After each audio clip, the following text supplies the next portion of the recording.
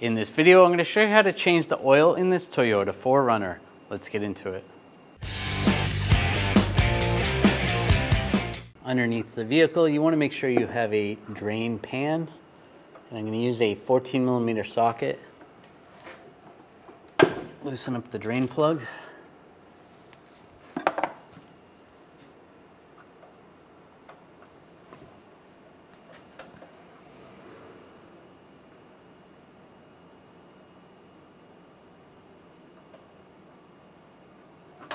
Slide that out of the way.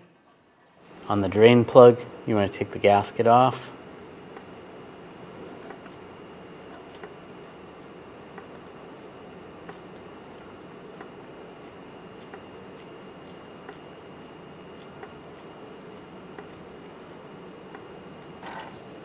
Throw that out. Now put the gasket on the drain plug. Line it up. And get it started.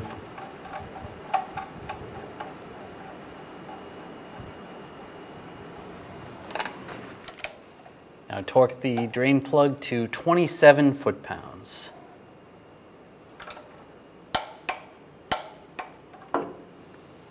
You can use a rag or even some brake parts cleaner and just clean off any residual.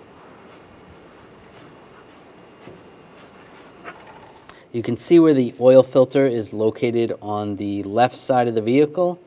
If you look inside the inner fender well, there should be a cover right here. You can just pop that off with some push pins and then you can reach in there or even reach in like I am from up above and just reach under the alternator and that's where it is.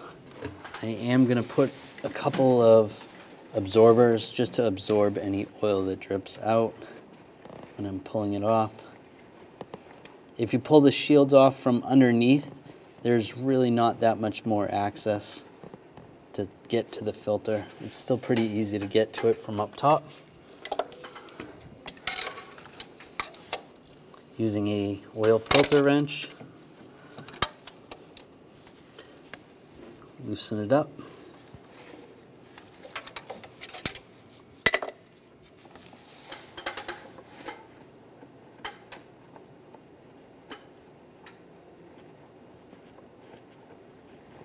Some of the oil's dripping out.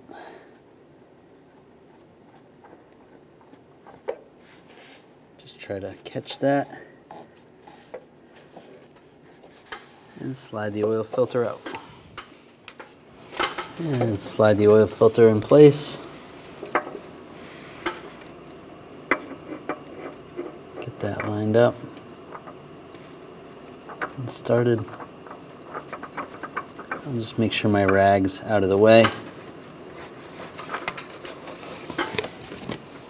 And tighten the oil filter down. Once it is just barely snug, then we're gonna tighten it. Go another half turn.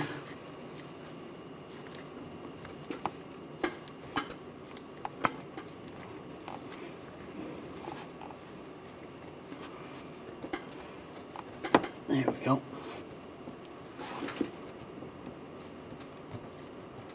That's about a half turn. Take the oil cap off.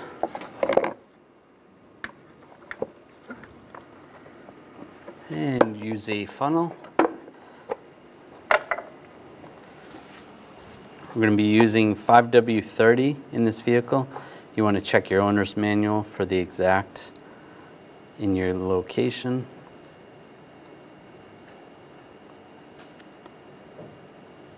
This vehicle requires 6.3 quarts, so a little less than six and a half quarts. I got 6.3 quarts in there. Take the funnel. You can put the cap back on, line that up, tighten that down. Now I'm just going to start the engine for 10 seconds and then shut it down.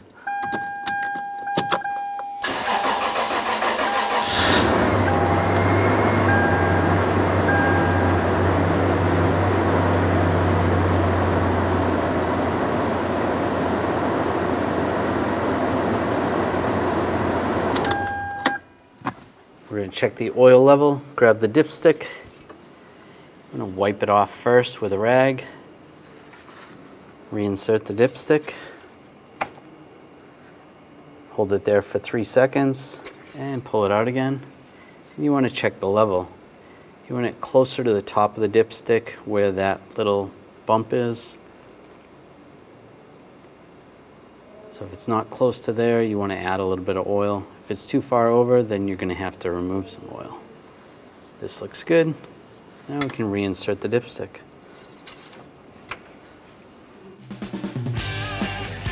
When only the best will do, demand TRQ. The only company that lets you view before you do. TRQ is committed to offering the highest quality aftermarket auto parts that are engineered for peace of mind. Thanks for using and viewing with TRQ.